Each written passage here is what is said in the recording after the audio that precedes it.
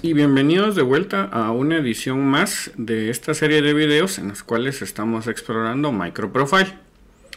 El día de hoy, continuando con las APIs específicas del proyecto MicroProfile y sus correspondientes implementaciones, vamos a realizar dos cosas.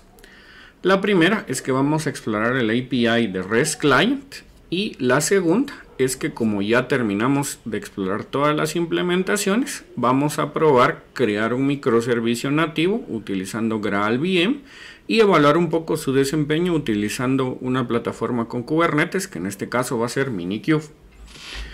Entonces, ¿qué es REST Client? Cuando nosotros pensamos en Java como lenguaje de programación, una de sus virtudes y de hecho uno de los motivos por los cuales la gente utiliza Java es por sus características de ser un lenguaje tipado. O en otras palabras, nos obliga a la definición de tipos para que la estructura de nuestros objetos, de nuestras clases e incluso estructuras de datos representadas en objetos pueda ser verificado en tiempo de compilación. Contrario a otros lenguajes dinámicos como JavaScript o por ejemplo algunas implementaciones de Python donde los tipos son dinámicos. Independiente de las ventajas o desventajas, lo cierto es que muchas veces el programador Java extraña el tipado de datos cuando se encuentra en la creación de microservicios, porque el lenguaje de facto para la comunicación entre dos microservicios suele ser JSON. En esta línea entonces, cuando nosotros necesitamos crear una comunicación donde un microservicio A es consumido a través de un microservicio B. En el microservicio B tenemos que implementar alguna especie de cliente en REST. Y la mayoría de las veces nosotros solemos utilizar clientes en lo que se conoce como el modo estándar. Para esto yo acá tengo la documentación de REST Easy que resume bastante bien lo que uno necesita hacer al momento de que crea clientes. Primero que nada, obtenemos un cliente con un client builder. Establecemos un web target hacia qué URL nos vamos a comunicar. Obtenemos una respuesta. Y a partir de la respuesta, entonces nosotros obtenemos el texto que intentamos hacer un mapeo hacia un objeto tipado. Y si todo esto está bien, cerramos la comunicación. Y si por ejemplo utilizamos REST directamente y no desde Java EE, podemos ahorrarnos algunas líneas de código.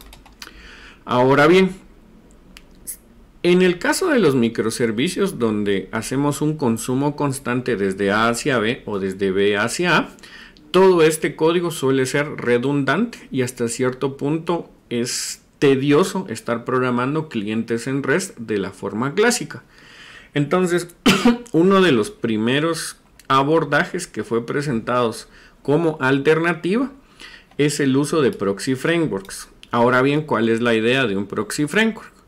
En un proxy framework yo asumo la existencia de un endpoint en REST al cual yo voy a consumir y mediante una interfaz yo creo el cliente. Entonces yo puedo especificar dentro de la interfaz cuáles son sus operaciones y mediante las anotaciones de JAX-RS establecer que me voy a comunicar a un servidor a través de verbos HTTP estableciendo su root e incluso el formato de datos que están siendo producidos o consumidos por ese servidor. Una vez está listo el proxy, entonces yo puedo bootearlo a través del método .proxy y crear un cliente básico. La idea es o me armo a mano el cliente REST o utilizo un framework proxy en el cual establezco propiedades y de alguna forma lo instancio para que tenga todos los métodos listos. Entonces, en esta línea, y digámoslo así, también por muchos proyectos y aportes que se han dado en Spring, MicroProfile estandarizó la creación de clientes type safe mediante mecanismos proxy, con la ventaja de que podemos utilizar CDI para la producción de nuestro cliente. Entonces, muchas de las cosas que vimos en REST y también se implementan, por ejemplo, en Spring, se trajeron hacia MicroProfile. Entonces, la idea general es que mediante una interfaz yo puedo venir y crear las definiciones de métodos que voy a tener dentro de mi cliente REST. Noten que aquí es una interfaz simple o una interfaz compleja con todos los métodos de JAX-RS y posteriormente arranco el cliente utilizando CDI o configuración manual, que es lo que vamos a probar el día de hoy. Entonces, para iniciar con nuestro cliente, yo voy a utilizar Quarkus, que fue la última implementación que revisamos en el video anterior. Y podemos crear un proyecto de demostración. Entonces yo digo con VOrosco, que va a ser el demo REST client utilizando Maven. Y para esto, entonces voy a seleccionar que quiero JAX-RS como el estándar, tener como marshaller JSON-B y también incluir REST Client junto con REST Client JSON-B para que exista el marshaller que transforma de JSON a Java, de Java a JSON, tanto en el servidor como en el cliente y la correspondiente implementación de REST Client. Una vez está lista, entonces genero la aplicación y la descargo en mi computadora. Entonces, un segundo en lo que abro la carpeta de downloads.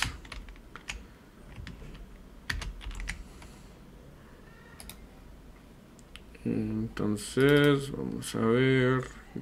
Estoy abriendo los downloads.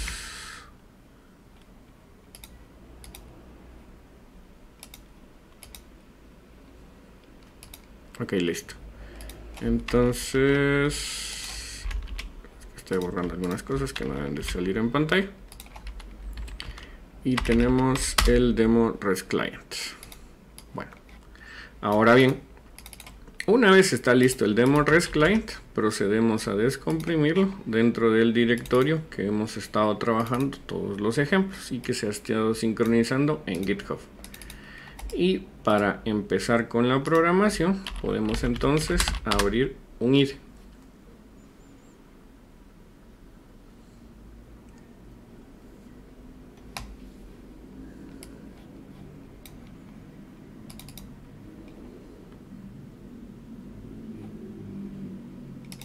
Entonces va a llevar algunos segundos en lo que pasamos a modo presentación y paso también el cambio de pantalla.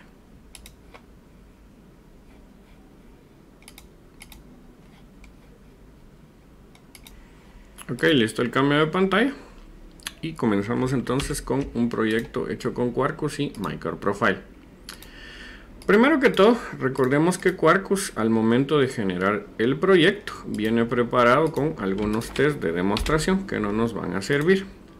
Y trae también un greeting resource que básicamente genera un hello REST Como tarea, lo que vamos a crear entonces es una comunicación hacia una API existente. Y el día de hoy voy a utilizar la siguiente API pública.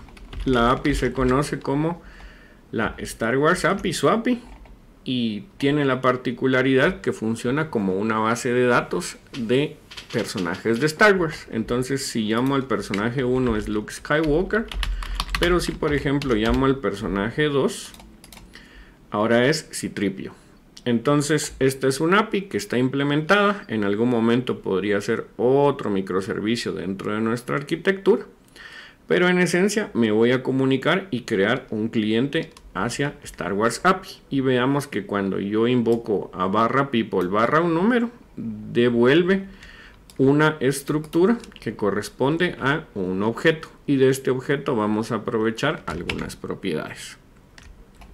Entonces, primero que nada, vamos a organizar nuestro código utilizando Domain Driven Design, para lo cual necesito un modelo voy a necesitar también un repositorio. Y por último también necesito un controlador. La parte más simple va a ser el modelo en el cual creamos una clase en Java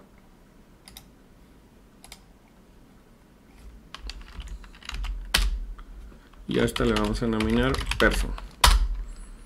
Ahora bien, ¿qué va a tener person? Las propiedades que son entregadas por la API de Star Wars, donde por ejemplo tenemos el nombre, la altura y podría ser por ejemplo cuál es el color del cabello y el género. Vamos a utilizar dos propiedades. Vamos a tenerlas acá para que no sea muy complicado. Entonces voy a utilizar color y para hacer match recordemos que tenemos JSONB. Entonces yo digo que JSONB property, la propiedad color es correspondiente a color en Java con camel case y la propiedad gender es correspondiente con gender podríamos terminar ahí. Ok, estoy listo con las propiedades, en la cual estoy haciendo el pollo. Entonces genero getters y setters para las tres propiedades. Y incluso las puedo encapsular denominándolas como privados. Dos y tres. Está listo. Bueno. ¿Cómo creamos entonces el cliente? Desde el punto de vista de mi microservicio, el cliente es un origen o repositorio de datos. Entonces yo podría crear una clase en Java, específicamente una interfaz, y decirle su client, correspondiente al API de Star Wars, en la cual voy a tener un método que devuelve una persona y que recibe como parámetro un person ID.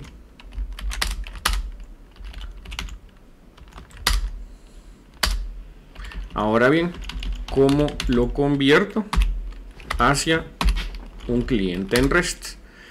Utilizando las anotaciones de MicroProfile, lo primero que hago para activar su reconocimiento como cliente proxy es registrarlo bajo la anotación register REST client.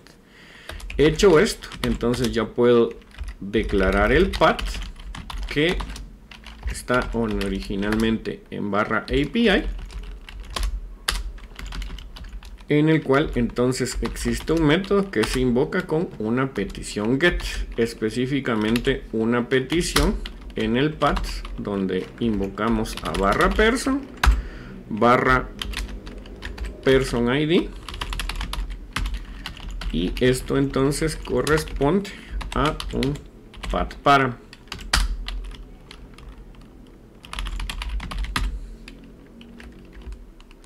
Denominado person ID ahora noten que no estoy utilizando ningún tipo de implementación. Únicamente lo declaré en una interfaz en el cual digo este método ofrece a través de un get una estructura de datos en JSON cuyo marshalling puede ser automático hasta persona. Posteriormente podría también personalizar, de hecho lo necesito, el tipo de datos que este método produce. Y sabemos que produce un JSON. Ok, tenemos listo nuestra API, entonces pasamos al controlador. En el controlador entonces yo podría crear un controlador de demostración. Tengo un problema con el mouse el día de hoy. Y el controlador se va a llamar demo controller. Y vamos a eliminar greeting resource que no nos va a servir. Dentro de demo controller, entonces yo puedo establecer un path. El path va a ser barra demo. Y por ejemplo puedo establecer que su ciclo de vida es singleton que exista solo una instancia. Entonces puedo inyectar un cliente SWAPI y crear una instancia. Ahora bien, ¿en dónde entra MicroProfile? En el momento que yo agrego un calificador y digo dentro de mi ClassPath o dentro de mi framework hay alguien encargado de producir objetos con el calificador RESTClient. Ese client es un factory que viene programado desde MicroProfile y aunque yo no implemente todos los detalles a bajo nivel dentro del cliente proxy, sí lo programé declarativamente. ¿Qué esperaría entonces? Que si por ejemplo yo mando imprimir person, para lo cual necesitamos un método toString, yo pueda ver los detalles desde el API de Star Wars. Entonces podemos establecer que voy a tener un método get denominado doDemo y tiene que retornar alguna respuesta. Entonces declaramos person, que es la persona, y desde su API client yo invoco getPerson con el valor 1 que corresponde a Luke Skywalker. Y si todo se encuentra bien, entonces vamos a tener por ejemplo un logger. Vamos a tener un println para no complicar. System.out.println person, quiero ver todos los detalles de la persona y retorno. La persona ha sido consultada en el API remoto. Si todo está bien y mi cliente REST es correcto, voy a llamar. Para lo cual me falta una última configuración. Dentro del directorio metainf, yo puedo personalizar la URL final. Recordándoles que en una aplicación Cloud Native la aplicación Cloud Native no hace una comunicación completa.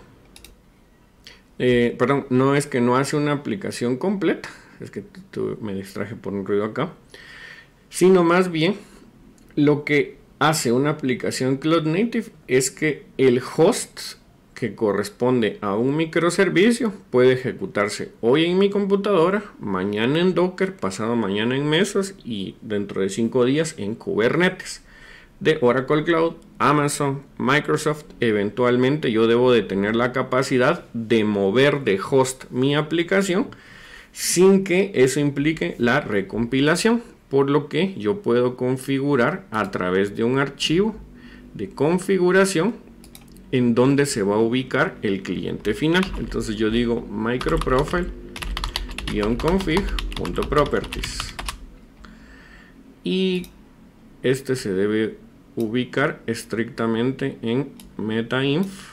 microprofile-config.properties. Entonces me va, esto me va a servir para configurar la URL base. Entonces digo que hay una clase ubicada en el paquete com vrosco repository específicamente su client en el cual yo voy a tener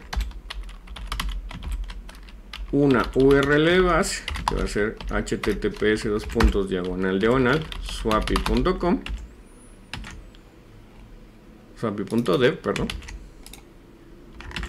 y a partir de swapi.dev este va a ser la raíz de mi cliente que se puede cambiar en este momento en swapi.com eventualmente a un cliente interno que se ejecute en Kubernetes pero en Swapi Client en Swapi Dev barra API barra person barra el identificador yo voy a poder realizar un cliente REST. Ahora bien ¿Cómo lo vamos a probar? Solo quiero comprobar que este esté bien, entonces vamos a pegar directamente esto en Google para ver si esta es la sintaxis correcta, porque no me acuerdo. Aquí está en la especificación. Sí, es en barra rest barra URL. No me equivoqué. Entonces lo ejecuto utilizando Quarkus Dev, que es el development loop de Quarkus. Ah, perdón, es compile Quarkus Dev. Vamos a ver qué está pasando. compile.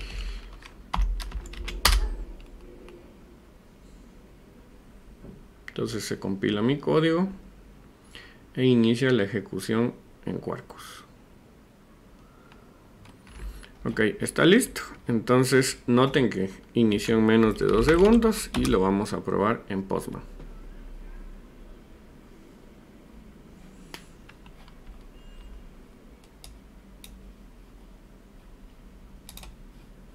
Ok, entonces el demo ya lo había utilizado en otra, en otra API. Y nuevamente les recuerdo, al invocar barra demo, barra get, debería ejecutarse el código de doDemo y eventualmente doDemo invocar al cliente TypeSafe que retorna un tipo de dato concreto que es person y ya manipularlo en Java. Entonces estoy programando declarativamente. Entonces swapi.com.dev, tengo un error en la URL. Swapi.dev, pero ya se está comunicando.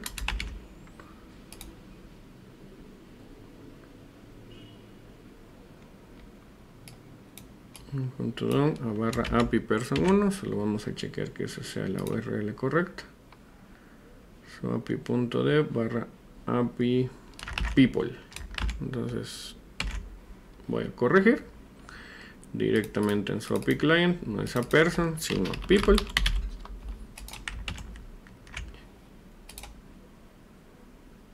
Y noten que la persona ha sido consultada en el API remoto y la persona que yo consumí desde el API remote fue Luke Skywalker, cuyo color de pelo es rubio y su género es masculino.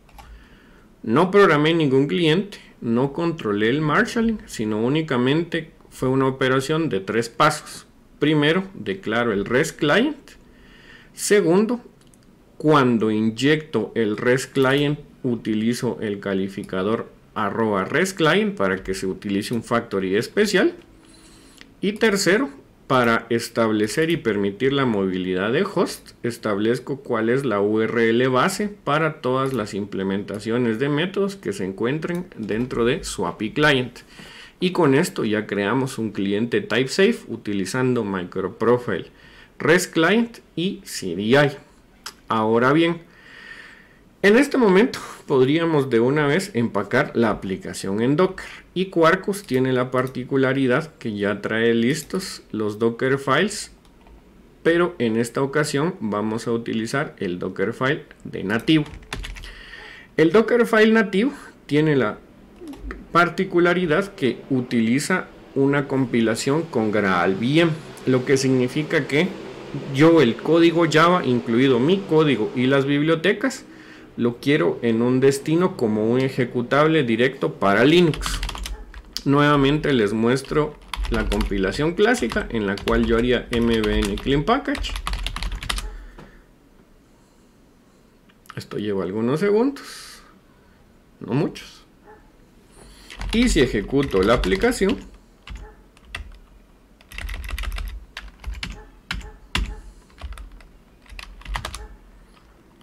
java menos jar target demo rest client runner.jar 1 2 3 digamos así arrancó en un segundo.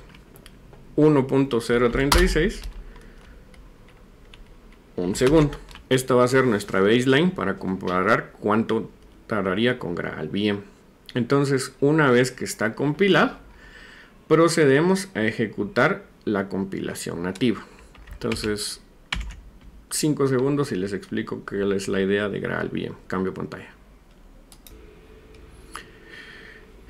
GraalVM es un proyecto que nace de los laboratorios de investigación de Oracle y es probablemente hoy por hoy la máquina virtual de Java que más promete traer en innovación. ¿Cuál es la idea? Primero que todo, que se utiliza con diversos frameworks enfocados en compilación nativa, como en el caso de Helidon, Quarkus, Micronaut y próximamente Spring. Y segundo, promete un mejor startup time y un consumo de memoria más pequeño a través de lo que se conoce como el módulo de compilación nativa. Su otra característica que no vamos a explorar en esta serie de videos, pero es bien interesante, es que pueden utilizar cualquier lenguaje de la JVM, JavaScript, Ruby, R, Python y lenguajes compatibles con LLVM sobre Node.js, Oracle Database, aplicaciones standalone y OpenJDK. Y dentro de sus características contiene una característica denominada Native Image. Native Image, como yo les mencioné anteriormente, es una tecnología que permite compilación ahead of time, lo que significa que en lugar de que exista una máquina virtual de Java, esta máquina virtual se elimina por otra denominada Sulong VM para proveer recolección de basura, algunas implementaciones y el resto es un ejecutable nativo de Linux. Por ejemplo, si yo verifico cuál es la máquina virtual que estoy utilizando en este momento, durante toda esta serie de videos yo he estado utilizando GraalVM Community Edition, lo que significa que es una máquina virtual de Java bastante estándar. Y lo interesante de Quarkus es que en los proyectos generados de una vez me permite empacar mi aplicación con formato nativo. Lo que hace es compilar el proyecto y posteriormente invocar a GraalVM para hacer la compilación AOT. Ahora bien, esto lleva tiempo, entonces voy a pausar el video y al regresar les voy a decir cuánto tardó la compilación. Ok, la compilación llevó aproximadamente un minuto. Ahora, ¿qué es lo interesante? En este momento yo estoy utilizando Gentoo Linux. Y dentro del directorio target, ahora además de tener el jar file y el runner, tengo un ejecutable nativo de Linux.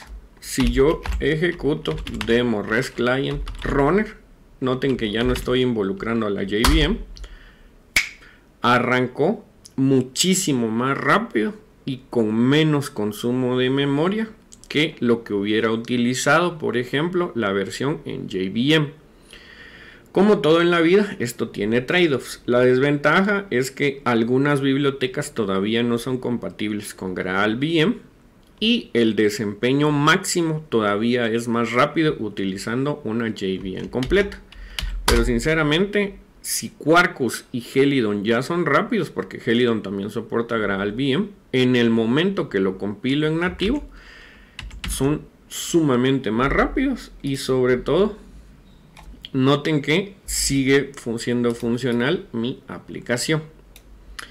Ahora bien vamos a hacer una pequeña modificación y luego la volvemos a empacar con GraalVM entonces algo recomendable es que la aplicación se compile únicamente en nativo al momento de distribuirse y cuando se esté desarrollando que se ejecute directamente en el modo JVM. Entonces podemos agregar flexibilidad a la app para decir query param, por ejemplo, person ID, que va a ser un perdón, este es un parámetro en URL, entonces se escribe con dash. Va a ser una propiedad integer cuyo valor sea person ID. Y en lugar de tener quemado el dato va a ser person id. Y para hacer la demostración con kubernetes sería interesante que agreguemos el nombre del host un no host exception. ¿cómo lo vamos a hacer? primero que todo voy a obtener el nombre del host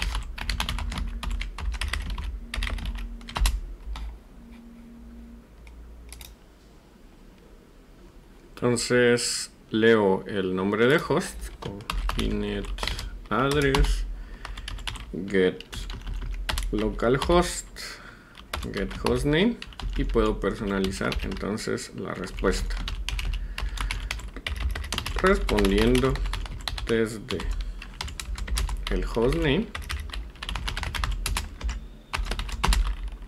encontré a la persona y obtenemos el nombre que se consultó de la cliente en StarWars. Entonces, ¿qué estamos haciendo? Consulto a internet, obtengo datos, se transforma automáticamente de JSON a Java e incluso ya el objeto en Java lo puedo utilizar para manipular información. Incluso visando un caso en el cual no se envíe person ID, yo puedo establecer un default value que por defecto quiero invocar a la persona 1. Entonces está ejecutándose Quarkus. Vamos a invocar a demo sin parámetros y veamos cómo funciona. Y dice que responde desde Star Destroyer, mi computador, y por defecto encuentra a Luke Skywalker. Y si establecemos person ID con un valor 2, encontramos a Citripio y con un valor 3 a Arturito. Ok, entonces en este punto ya tenemos un API, ya tenemos un REST client y ya demostramos que es posible utilizar compilación nativa. Lo que nos quedaría entonces es compilarlo utilizando Docker. ¿Cuál es la idea? En el momento que ustedes realizan un proyecto a partir de los starters de Quarkus, dentro del directorio Docker van a encontrar diferentes Docker file modelos.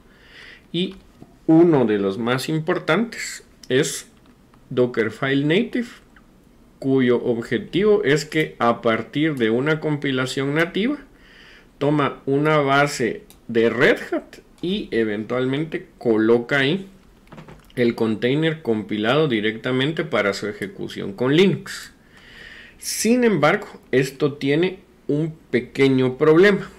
Si yo lo compilo dentro de mi computador, que es Gentoo Linux, no tengo la certeza de que se vaya a ejecutar dentro de la imagen de Red Hat. Recordemos que cuando estamos trabajando con compilación nativa, no hay garantía de que los binarios ELF de una distribución Linux se ejecuten en otra distribución Linux. Y la solución a esto es lo que se conoce como multi-stage build. Acá, por ejemplo, en la documentación de Quarkus. ¿Cuál es la idea? Aunque yo podría compilar directamente con Maven, Quarkus me ofrece la opción de ejecutar la compilación adentro de un container. Y si yo realizo la compilación de esta forma, tiene que darse el siguiente comportamiento. Entonces hacemos un mbn clean package menos p para el perfil native y que de una vez compile adentro de una imagen compatible con Quarkus. Se compila el proyecto y noten que se descargó una imagen de Ubi Quarkus Native Image, que es la Universal Base Image de Red Hat. Y dentro de la imagen, en este momento, entonces sí se compila con Quarkus para garantizar que el entorno de compilación de la imagen nativa sea el mismo que el entorno de ejecución, la imagen Ubi. Entonces viajamos en el tiempo con la edición porque esto lleva algunos minutos. Ok, llevó aproximadamente un minuto con 45 y el ejecutable que yo tengo ahora en el directorio target es un ejecutable que se produjo adentro del container en Docker. Ya no se ejecutó directamente con Gentoo Linux. Lo que me queda es entonces empacar la aplicación docker build "-f src main docker docker file native para un tag como por ejemplo demo rest client en el usuario tuxtor directorio actual y se construyó la imagen entonces este container lleva únicamente la imagen compilada con GraalVM y podremos incluso probar. Entonces ejecuto un docker rom en el puerto 8080 desde el exterior al interior con la imagen tuxtor demo rest client. Está listo. Y veamos si continúa funcionando la aplicación. Ahora en versión Docker nativa.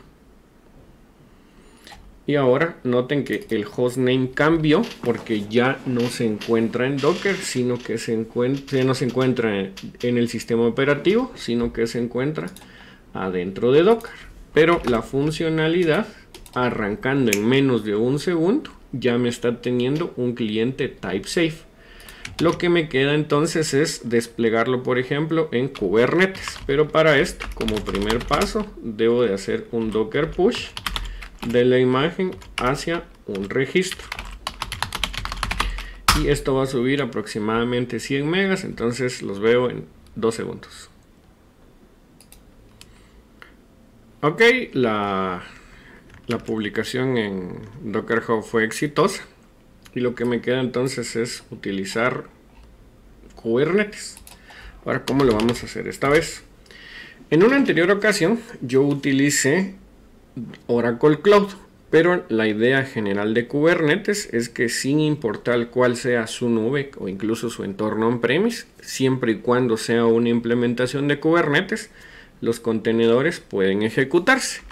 Y podríamos utilizar en este momento Minikube.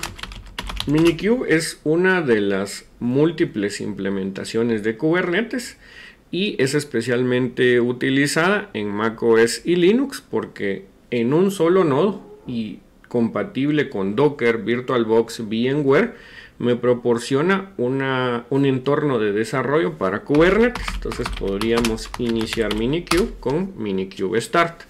Noten que la estoy utilizando dentro de Gentoo Linux, pero es bastante común encontrarlo en los repositorios de sus distribuciones Linux. Mientras Minikube inicia, entonces valdría la pena crear nuestro plan de despliegue utilizando Kubernetes y similar a como lo hicimos anteriormente, lo hago mediante un archivo manifest de YAML y de hecho voy a copiar directamente en la pantalla un plan de despliegue que ya habíamos utilizado anteriormente. Ese plan de despliegue lo utilizamos en config. Entonces en config nosotros utilizamos un app.yaml que vamos a personalizar.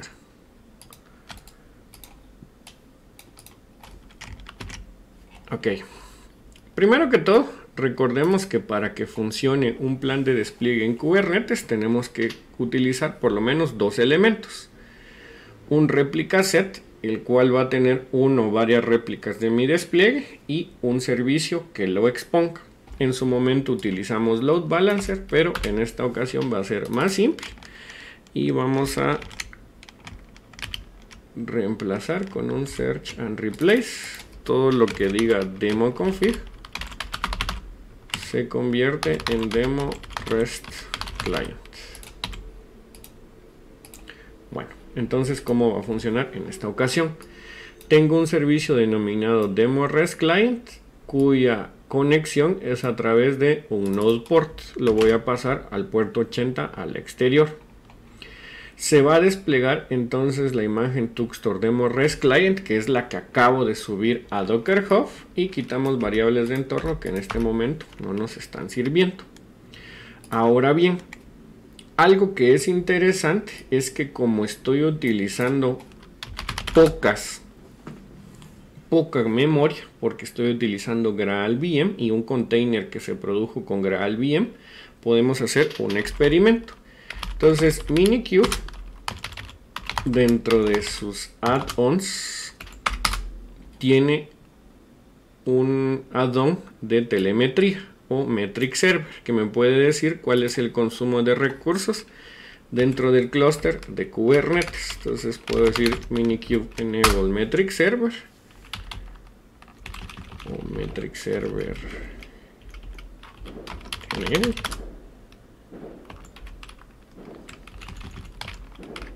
add enable metric server vamos a probar si esta es la sintaxis correcta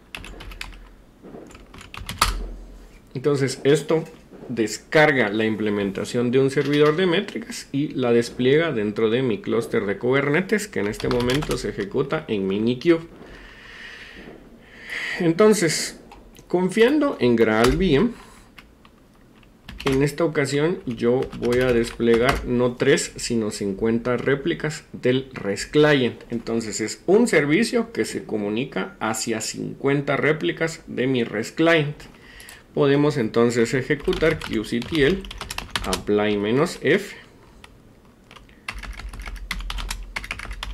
Mi plan de despliegue. Ok, fuera de cámara, básicamente lo volví a escribir y cambié porque quiero utilizar un load balancer, pero en esencia es exactamente el mismo archivo de despliegue.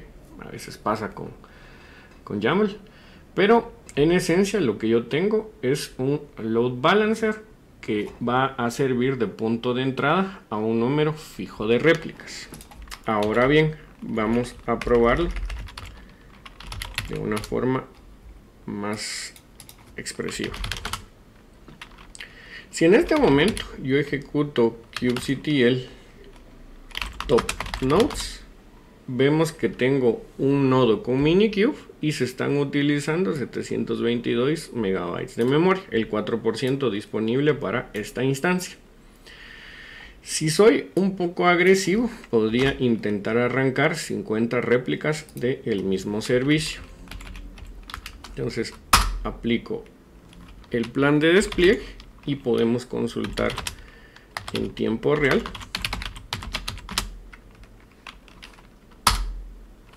el despliegue.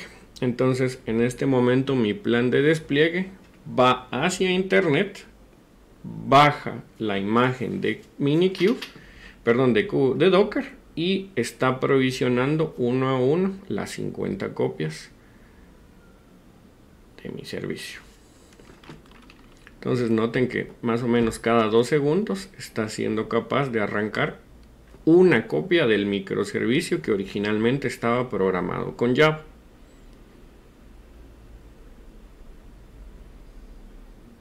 Ahí va, ya le está costando un poquito.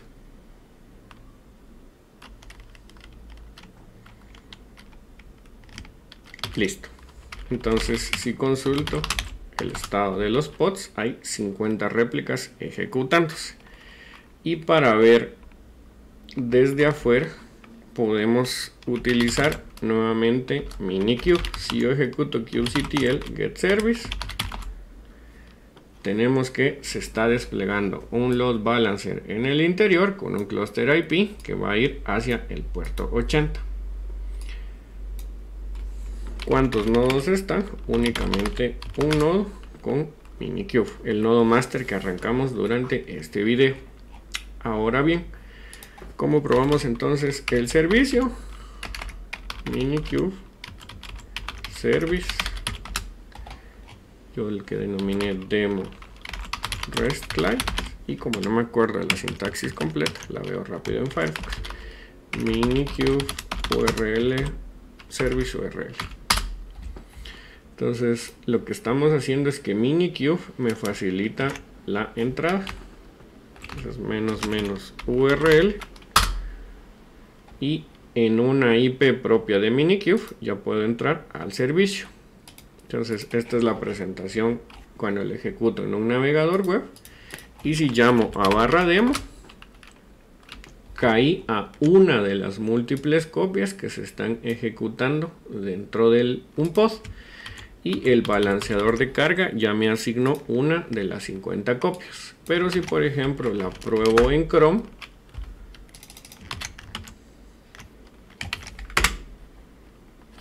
tengo que estoy en otro host totalmente diferente, uno de los 50 y en Kubernetes esto podría escalar incluso de forma dinámica. ¿Qué tanta memoria están consumiendo mis 50 servicios? Lo vamos a ver. Entonces kubectl top nodes. Pasé de 722 megabytes a 1 gigabyte con punto 2 con 50 copias de un servicio ejecutándose en Java yo estoy pudiendo ejecutar 50 e incluso podría ser más agresivo y llegar por ejemplo a 99 copias para probar qué tan tolerante es Kubernetes entonces podríamos entrar a Minikube Dashboard para ver el estado de mi host. Entonces esto provisiona un dashboard web que sería el que ustedes tendrían dentro de una instalación formal de Kubernetes. Entonces esto va a llevar unos segundos. Veamos si el servicio continúa vivo y se lanzó el dashboard. Entonces noten que está escalando hacia los 99, 82 y si todo sale bien voy a tener 99 réplicas del servicio de REST Client. Ahora, ojo, que no estoy utilizando mucha memoria. Mi nodo, que en este caso es el nodo Minikube, que se está ejecutando sobre una imagen de Ubuntu. En este momento ya está ejecutando 109 pods. Entonces, sinceramente el consumo de GraalVM es relativamente pequeño para la cantidad de réplicas que acabo de provisionar. Y puedo ver que cada uno de los pods está utilizando pocos recursos. Vamos a ver, workloads, en este momento están todos bien, los nodos están funcionando. Y si veo el nodo Minikube, todo funciona sin problema. 99 copias del mismo servicio. ¿Por qué no pruebo más? El límite teórico de Minikube son 100 por nodo. Se puede ajustar, pero es parte, eso queda fuera del video del día de hoy. Entonces regresamos la pantalla. ¿Qué aprendimos el día de hoy? Primero que todo, MicroProfile REST Client me ofrece la posibilidad de crear clientes REST de tipo TypeSafe. Segundo, estos clientes REST de tipo TypeSafe utilizan como base las anotaciones de JAX-RS y CDI para que a través de la inyección de dependencias yo pueda provisionar clientes REST. También probamos que utilizando Native Image con un framework compatible con GraalVM, que en este caso fue Quarkus, yo pude escalar, empacar en Docker mi imagen nativa y escalar en Minikube 99 copias sin mayor inconveniente. Entonces cada una de estas copias, en este momento ya están viniendo las métricas, está arrancando con 5 megabytes de RAM. Por eso es que a pesar de que sean un montón, el que no exista JVM, sino sea una aplicación nativa, pero programada con Java, me ayudó a que se reduzca el consumo de memoria. Y siempre y cuando no llegue, pues va a oscilar entre 20 hasta 40 megas. Entonces, un nativo con GraalVM es bastante eficiente. No es tan rápido como con la JVM, pero dentro del mundo de Cloud Native, esto va a tener sus usos. ¿Cuánto? 5 megas por servicio un servicio que ustedes ya vieron en funcionamiento. Entonces, si les gustó, no olviden darle like y compartir para que más personas lo puedan ver. Nos vemos en la próxima API.